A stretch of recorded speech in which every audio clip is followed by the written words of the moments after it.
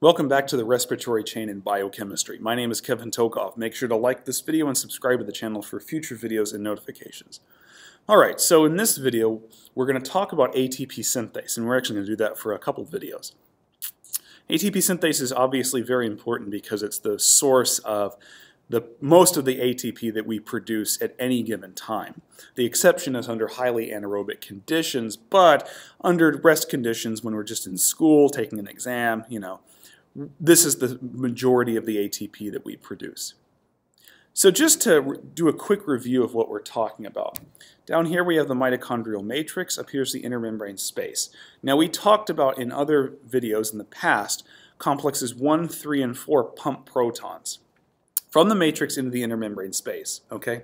Now, because the concentration of protons out here is very high relative to inside the matrix where it's pretty low, because they're pumping protons up like this into the intermembrane space, it's actually active transport, and that's why they're termed proton pumps.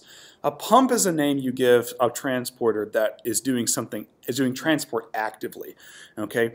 Now these pumps don't get energy from ATP; they're getting it from electrons, like NADH and FADH2. Okay, so not all active transports actually have to use ATP. Some of them can use other energy sources. In this case, it's NADH and FADH2. And the energy from those is powering the pumping of protons from the matrix into the intermembrane space. Now again, because we have a high amount of protons out here and it's relatively low in the matrix, we have what's called an electrochemical gradient. Okay, First of all, the concentration of protons is higher in the intermembrane space and lower in the matrix.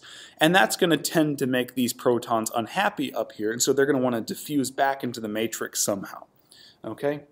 But also, overall, because of all the protons out here, in the intermembrane space, it's more of a positively charged environment, and in here, it's more of a negatively charged environment. So also, according to electrostatics, which you learned about in physics, these charges are also going to want to diffuse somehow into the matrix, because they're going to want to reach equilibrium both in terms of concentration and charge. And that's what is the electrochemical gradient. Over here, this blue structure that's very massive, this is ATP synthase okay? And you see the net reaction here of ATP synthase. It's going to take adenosine diphosphate plus inorganic phosphate and condense them into ATP. How does it do that?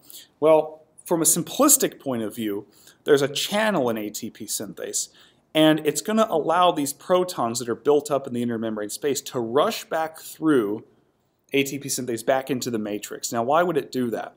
Have you ever seen um, this analogy, which actually occurs in real life? If you have a water wheel next to like a waterfall or something, and the water falls down the waterfall and it pushes and spins the water wheel, and then the water wheel spinning creates some electricity. Okay?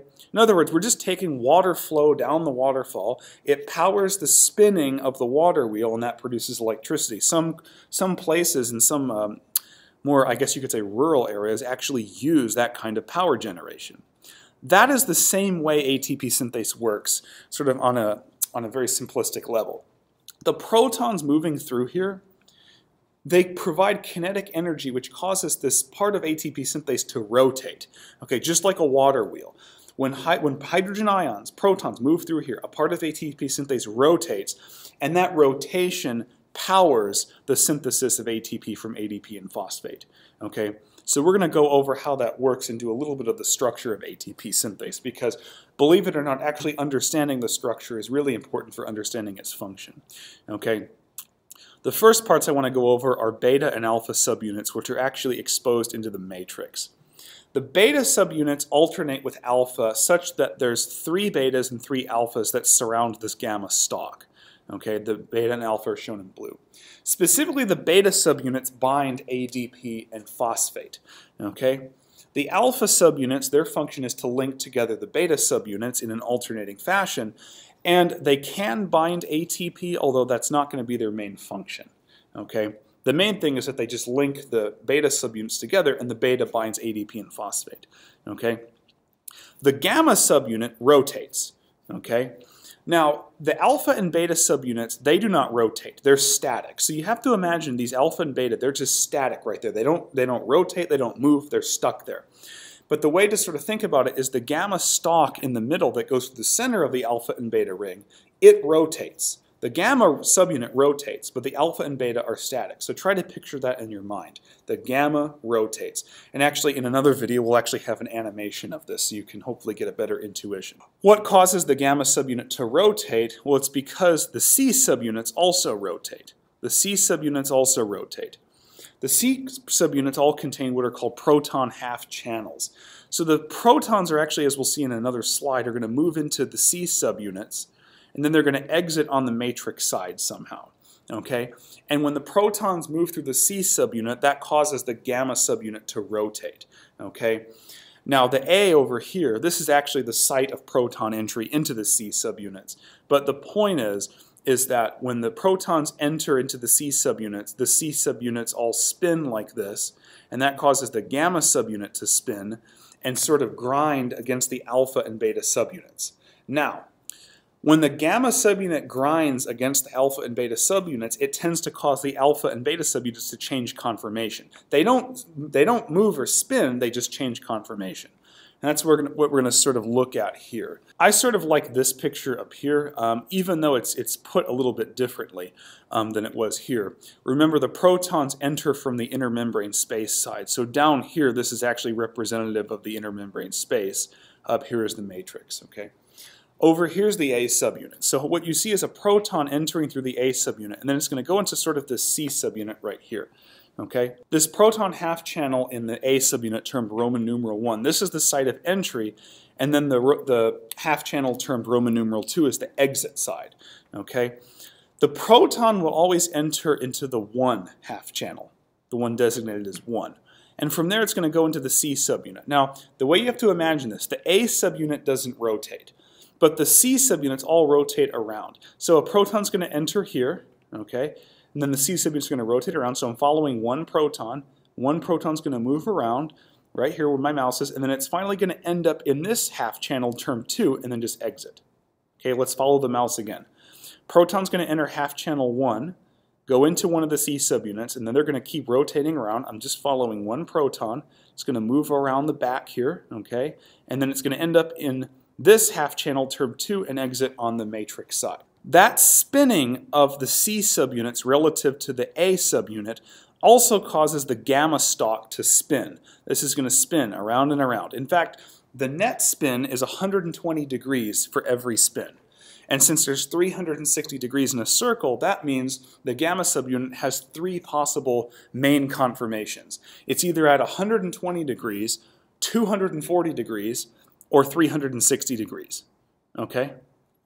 So this gamma stalk, it's going to spin against and grind against the alpha and beta subunits. Okay, and if this picture helps you a little more, um, you can look at this one, but I, I particularly like this picture.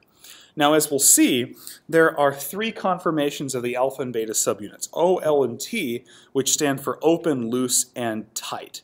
And we're going to look at that here. Now, in the next uh, video, we're actually going to look at the, the actual physical mechanism of the ligation of ADP to phosphate to make ATP. Here I just want to give you the mechanism of the alpha and beta subunits. The O is designated for open, L is loose, and T is tight. The gamma subunit has this, basically, it has a certain um, shape to it, and it, although it doesn't necessarily look like this little spike sticking out, the spike points to the open region. Okay, always points to uh, the, the spike of the gamma subunit points toward the open part. So what is the open part? Here are the functions right here. The open conformation, so hopefully you see in the open we have ADP and phosphate coming in, and the ADP and phosphate bind in the, in the particular alpha beta part that has the open. Notice over here, this alpha and beta is loose, and this alpha and beta is tight. Okay? So ADP and phosphate bind in the open conformation. And we'll see also at the very end of this that if there's an ATP in the open conformation, then the ATP can dissociate. Okay? But in general, ADP and phosphate bind in the open conformation. Whenever we get a proton flux, remember protons moving through the half channel, the C subunits rotate, which causes the gamma subunit to, rotation, to rotate. When we have that proton flux, there's a 120 degree rotation of the gamma subunit. Notice, the gamma subunit rotates, now it's pointed this way. Okay, that causes all these conformations to change. This was open, now it's loose. This was tight, now it's open.